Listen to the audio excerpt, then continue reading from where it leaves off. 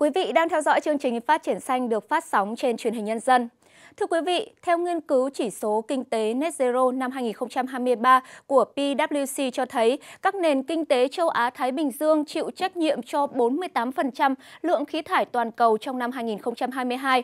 Mặc dù tốc độ giảm phát thải khí carbon của khu vực vào năm 2022 ở mức 2,8%, cao hơn so với tỷ lệ toàn cầu là 2,5% nhưng khu vực này vẫn cần tăng tốc độ giảm phát thải nhanh hơn gấp 6 lần để đạt tỷ lệ 17,2% nhằm hạn chế sự nóng lên toàn cầu ở mức 1,5 độ C so với thời kỳ tiền công nghiệp. Đây cũng là thách thức không nhỏ đối với nước ta khi đặt trong bối cảnh chung của toàn cầu và mục tiêu trung hòa carbon vào năm 2050 mà chính phủ đã đề ra.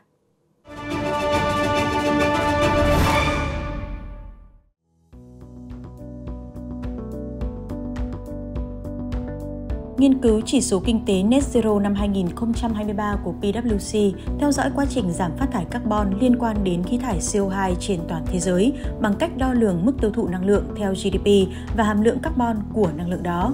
Chỉ số năm 2023 cho thấy không có nền kinh tế nào ở châu Á-Thái Bình Dương trong năm 2022 có tốc độ giảm phát thải carbon tiệm cận tới mức cần thiết để đạt được mục tiêu giữ cho trái đất không tăng quá 1,5 độ C.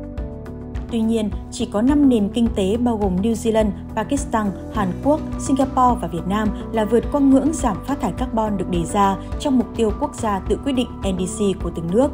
Hầu hết các nền kinh tế đều phải đối mặt với khoảng cách lớn giữa tham vọng giảm phát thải carbon theo mục tiêu NDC và kết quả thực tế vào năm 2022. Việt Nam được xếp trong nhóm các nền kinh tế có sự chuyển biến chậm hoặc theo hướng tiêu cực trong quá trình giảm cường độ phát thải carbon và vẫn phụ thuộc nhiều vào nhiên liệu hóa thạch để duy trì tăng trưởng kinh tế. Tuy nhiên, cường độ phát thải carbon của nhóm này nhìn chung thấp hơn mức trung bình của các nước G7, nghĩa là việc giảm hệ số phát thải carbon từ nhiên liệu hóa thạch có thể làm giảm cường độ phát thải carbon đáng kể. Các mục tiêu NDC được Việt Nam cập nhật năm 2022 đã cho thấy những bước tiến đáng kể trong việc ưu tiên sự phát triển bền vững. Chính phủ đã nhấn mạnh việc sử dụng năng lượng tái tạo và đưa ra những mục tiêu giảm phát thải tham vọng hơn so với các mục tiêu trước đây. Qua đó, phản ánh cam kết mạnh mẽ đối với việc hành động vì khí hậu. Mặc dù các nội dung NDC dường như đã phù hợp với tham vọng Net Zero của Việt Nam vào năm 2050, vẫn cần có nhiều hành động thiết thực hơn để tăng tốc đến một tương lai đạt phát thải dòng bằng không. Theo Nghị định 06-2022 NDCP và Luật Bảo vệ môi trường năm 2020, có 3 điều về ứng phó với biến đổi khí hậu mà chính phủ quy định chi tiết về giảm nhẹ phát thải khí nhà kính. Theo đó, mục tiêu giảm nhẹ phát thải khí nhà kính được Thủ tướng Chính phủ phê duyệt trong đóng góp do quốc gia tự quyết định. Trong đó, lộ trình chia theo hai giai đoạn từ nay đến hết năm 2025 và từ năm 2026 đến hết năm 2030. Từ năm 2026 đến hết năm 2030 sẽ thực hiện các biện pháp thực hiện giảm nhẹ phát thải theo kế hoạch. Để thực hiện các quy định trên, hơn 1.900 doanh nghiệp thuộc các ngành công thương, xây dựng, giao thông vận tải, tài nguyên và môi trường sẽ phải cung cấp số liệu hoạt động, thông tin liên quan phục vụ kiểm kê khí nhà kính tại cơ sở để hiện thực hóa những mục tiêu cụ thể nhằm đưa phát thải dòng của Việt Nam về không vào năm 2050. Theo tính toán từ Bộ Tài nguyên và Môi trường, nhu cầu tài chính cho các biện pháp nhằm giảm phát thải trong từng lĩnh vực theo cam kết môi trường của Việt Nam đến năm 2030 là khoảng 69 tỷ đô la Mỹ. Trong số đó, nguồn quốc gia tự thực hiện dự báo vào khoảng 25 tỷ đô la Mỹ, chiếm 36%, và nhu cầu đối với nguồn lực hỗ trợ của quốc tế dự kiến là 44 tỷ đô la Mỹ, chiếm 64%. Con số trên là không hề nhỏ và đây cũng là thách thức lớn mà nước ta phải đối mặt trong lộ trình đạt mục tiêu net zero. Với tầm nhìn dài hạn, theo Ngân hàng Thế giới đánh giá, tổng nhu cầu tài chính tăng thêm của Việt Nam để xây dựng khả năng chống chịu và khử carbon có thể lên tới 368 tỷ đô la Mỹ trong giai đoạn 2022 đến 2040, tương ứng với 6,8% GDP một năm. Theo đó, lộ trình xây dựng khả năng chống chịu sẽ có khoảng 2 phần 3 số tiền được dùng để bảo vệ tài sản và cơ sở hạ tầng cũng như những người dân dễ bị tổn thương. Trong đó, chi phí của lộ trình khử carbon chủ yếu phát sinh từ ngành năng lượng. Cụ thể, chi phí đầu tư vào năng lượng tái tạo và quản lý quá trình chuyển dịch ra khỏi năng lượng than có thể phải tiêu tốn khoảng 64 tỷ đô la Mỹ. Trên phương diện vĩ mô, những con số trên cho thấy khối lượng lớn tài chính cần huy động. đó cũng là điều không hề đơn giản. Còn trên phương diện vi mô, nơi có các doanh nghiệp trực tiếp tham gia vào quá trình này, nhiều khó khăn cũng đang đón chờ phía trước.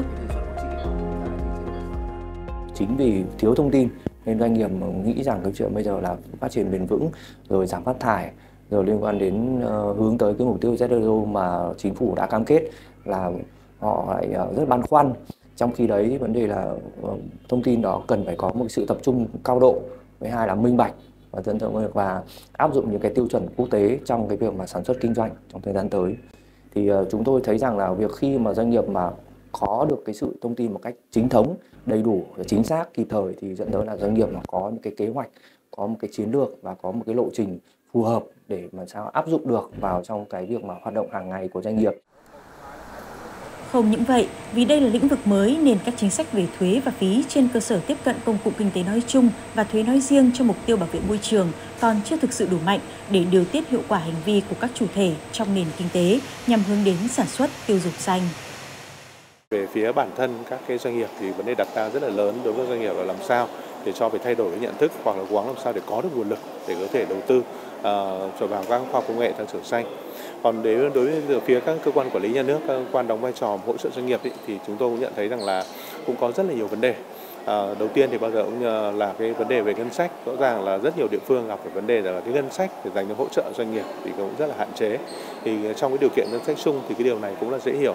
Nhưng mà tuy nhiên cái điều đáng lo ngại hơn ấy thì là vấn đề là ngay cả trong trường hợp có ngân sách thì cái việc mà các cái chính sách các cái chương trình hỗ trợ chưa được xây dựng ra một cách thân thiện đối với cả doanh nghiệp cũng cản trở cái việc là tiếp cận của doanh nghiệp đối với cả các chương trình này các chính sách còn hạn chế tính cập nhật của đối tượng chịu thuế, do đó nhiều sản phẩm hàng hóa có khả năng gây ô nhiễm môi trường trong quá trình sử dụng cũng chưa được đưa vào diện điều chỉnh của chính sách thuế bảo vệ môi trường.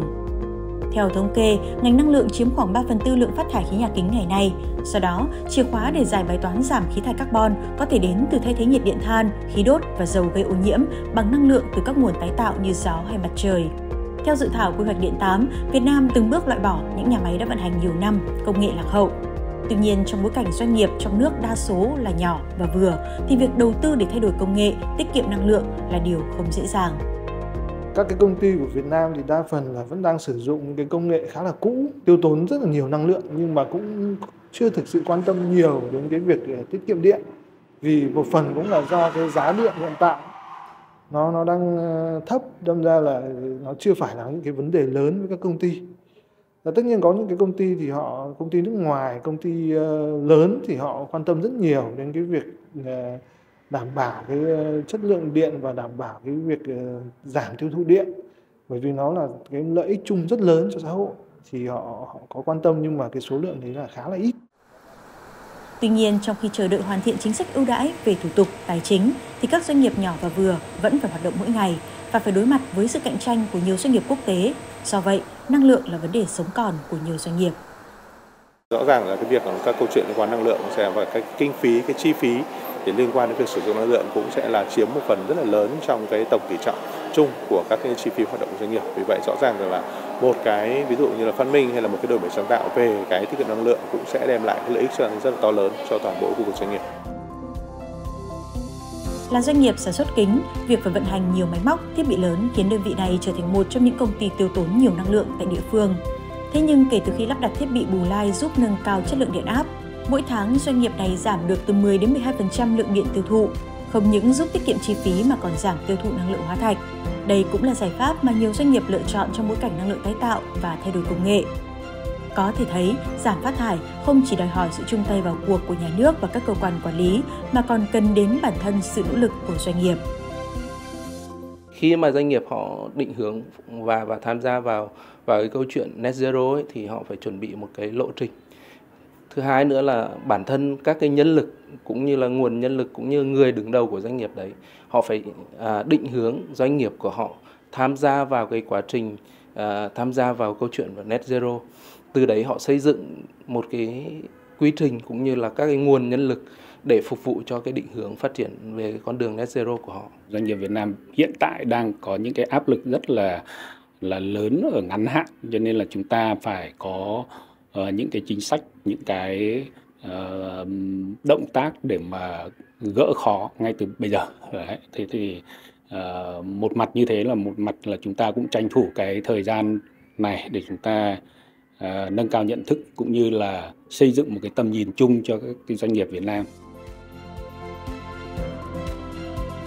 Từ báo cáo của công ty PwC, có thể thấy những nỗ lực của Việt Nam trong công cuộc giảm phát thải không chỉ là những con số cắt giảm theo cam kết, mà đây còn là cuộc chiến sống còn của các doanh nghiệp trong bối cảnh cạnh tranh cao trên thị trường quốc tế. Bài toán giảm phát thải dòng bằng không của Việt Nam sẽ phải thực hiện bằng nhiều cách giải một cách đồng bộ, chung trí lực, chung nguồn lực của cả dân tộc để đạt được kết quả chung, đó là xây dựng một nền kinh tế xanh trong một quốc gia xanh.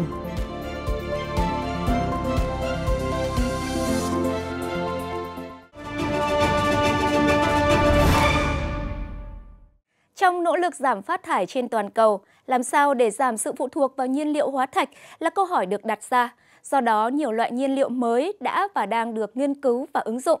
Trong đó, nhiên liệu hydro được coi là nhiên liệu của tương lai khi nó hoàn toàn không phát thải khí. Theo đó, ô tô chạy bằng hydro cũng đang dần được ứng dụng, hứa hẹn mang đến một tương lai mới cho ngành giao thông. Hãy cùng chúng tôi tìm hiểu về ô tô chạy bằng hydro trong một góc xanh ngay sau đây.